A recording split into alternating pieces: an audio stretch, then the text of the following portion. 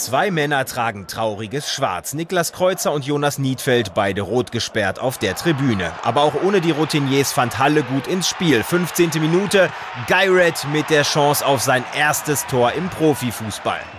In der Folge wurde Oldenburg besser. Brandt zu schnell für Kreuzer Ersatz Fünger und Vollert klärt. Beinahe ins eigene Netz. 0 zu 0 zur Pause.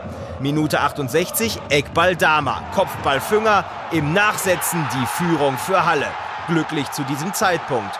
Fünger mit seinem Startelfdebüt im Profifußball erzwingt das 1 zu 0. Druckabfall bei André Meyer. Und nur drei Minuten später legte Halle nach. Wieder Flanke Dama, Zimmerschied 2 zu 0. Halle per Doppelschlag zum ersten Saisonsieg 2 zu 0 der Endstand. Für den HFC eminent wichtig, nach drei Niederlagen am Stück der Befreiungsschlag und das ohne die zwei wichtigsten Führungsspieler.